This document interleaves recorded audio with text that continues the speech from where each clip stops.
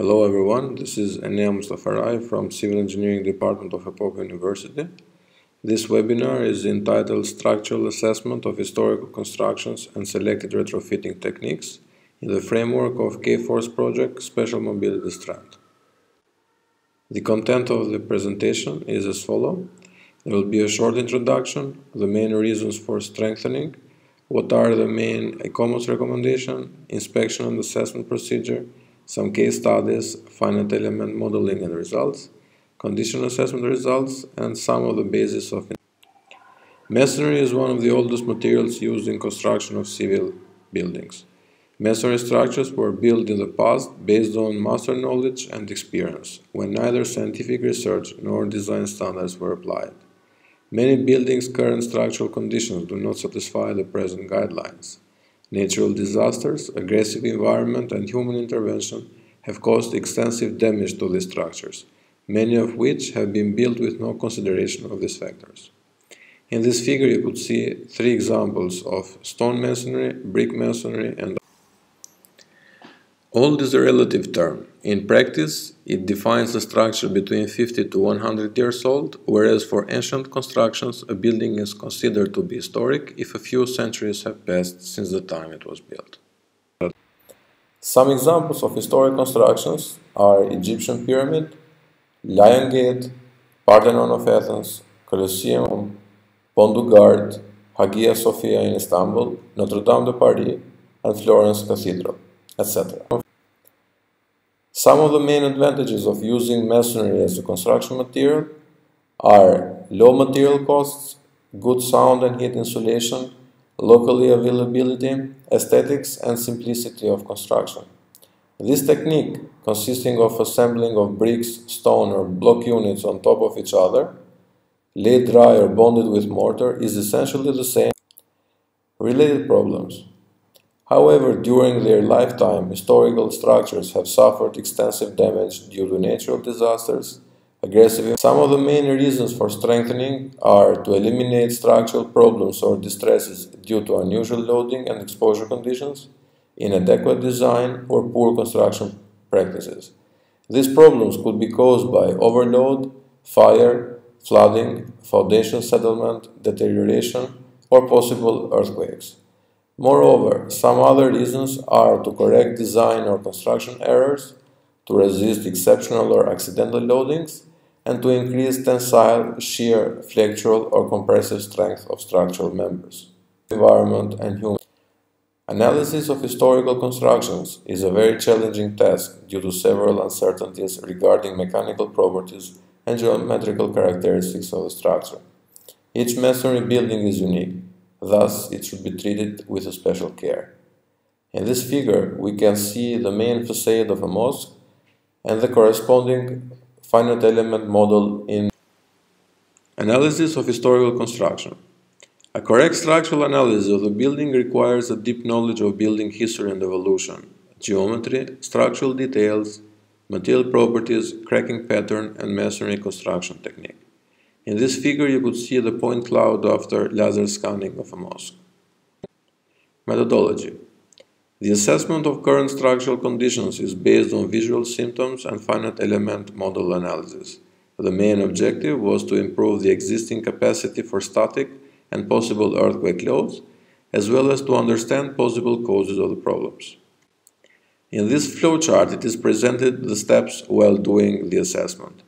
After visual inspection, if there is any doubt of safety, a detailed investigation should be carried out.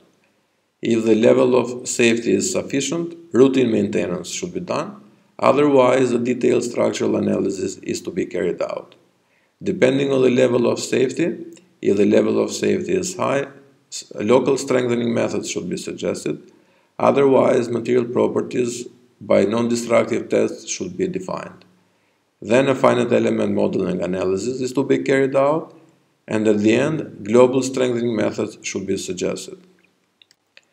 The International Scientific Committee for Analysis and Restoration of Structures of Architectural Heritage presented a package of guidelines for conservation and restoration of historic structures. These guidelines were approved during Second International Congress of Architects and Technicians of Historic Monuments in Venice, in Italy, in 25th to 31st of May 1964.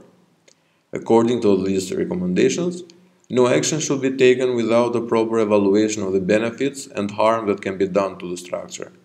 Diagnosis should be based on qualitative and quantitative analysis. The remedial measures should address root causes rather than symptoms, and each intervention should be kept at minimum. The inspection and assessment procedures followed in this presentation is done as follows. Adaptation of a suitable inspection form, which contains general details about the structure, the address, the rough area, number of stories, the total height, etc., type of the roof, construction materials, and the conditions of load-bearing walls. The severity level ranges from none, which contains no structural damage, to light, moderate, severe, to near collapse, which indicates a heavy damage element or structure. Based on the current state, recommendation is given whether to retrofit, demolish, or conduct a further, more detailed analysis. This is the inspection form which contains the case study for this webinar are five mosques which are located in Albania, which were built during the Ottoman period in uh, SAP 2000. The geometrical data for this mosque were obtained using a calibrated high-resolution digital camera, which is a Nikon D90, a 3D intelligent laser ranging and imaging system, and a Topcon GPT 3007 total station. In this figure you could see the interior of the dome and the laser scanner, as well as the point cloud after laser scanning process. In this slide, we can see the scan views of the structure from different scan stations. The structure is the Naziresha's Mosque, which is located in Elbasan. The main facade, which is the comparison between old and present day, and the cross-section detail of the mosque is shown in this slide. Regarding the possible failure mechanism, this figure shows from A to L the possible failing mechanisms such as vertical overturning, overturning with one side wing, two side wings, corner failure, partial overturning, vertical strip overturning, and so on. Regarding finite element modeling, the model consisted of 9,604 joints and 9,563 shell elements. The materials modeled are brick and stone. Macro modeling technique was used, so masonry units and mortar layers are represented as a continuum. Homogeneous linear elastic behavior of the structure was assumed. The assumed material properties are presented in this table. And in the figure you could see the finite element model in SAP 2000. The idealization of the geometry is carried out as we mentioned earlier, the unit of mortar and brick and interface are represented as a continuum, as a single element. After the condition assessment results, we could present the summary of the results in this figure, where we could see the vegetation growth, the damaged tiles, the damaged minaret, damaged plinth, local loss of stone unit, deterioration of surface plaster, and the absence of the drainage system. Moreover, some of the main visible cracks which are found on the main facade are highlighted with a white color. Regarding the condition assessment of Murad Beg's mosque, which is located in Kruja, here we could see some photos of the current condition of the walls, the plaster layer, the tiles, the improper isolation of the roof, the moisture concentration, deterioration of surface plaster, as well as the damage of the timber elements. In this figure, we could see the assessment result from Mirahor Ilyas Beg mosques in Korcha, where we could see some visible cracks inside of the dome and outside in the load-bearing walls, as well as broken windows, a location of moisture spots, as well as deterioration of surface plaster. The assessment results of Mosque of Preza are presented in this figure, where we could see deep cracks on the load-bearing walls, as well as improper isolation of the roof, the concentration of moisture around the stone walls, damage of timber elements, and deterioration of surface plaster. Regarding the assessment results of the Leaden Mosque, which is found in the city of Berat, here are represented the main cracks, which extend from the dome to the pendentives and through the windows, as well as we have the damaged windows, moisture concentration, local loss of stone units, as well as deterioration of surface plaster. Moreover, the soil profile under this mosque has been investigated by carrying out four different boreholes and uh, the characteristic layers are represented in this figure. In this figure we could see the crack propagation from the dome till the load-bearing walls and uh, the cracks are found to be due to differential settlement. In this figure we could see the deformation of the structure at the south and in this figure we could see the S22 stress distribution and actual cracks seen on the facade of the Nazir mosque. We could make a comparison between the concentration of the stress values from the finite element modeling software as well as the actual cracks which are found in the mosque. Some of the strengthening techniques for unreinforced masonry historical structures are local reconstruction or cuci-scuci technique, injection, tying, external and internal pre-stressing ring, and fiber-reinforced polymer materials. The basis of intervention design is divided in two main parts, for the walls and for the dome. Regarding the load-bearing walls, additional tensile and shear resisting elements should be added where necessary and injection should be applied where the voids are seen.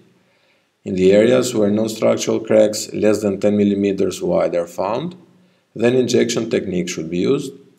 The structural shear and tensile cracks near the opening should be repaired with longitudinal FRP bars bonded with epoxy resin. Local reconstruction Cuci-Scuci technique is suggested to be used in the places where sanding phenomenon is seen and where massive loss of building units is observed.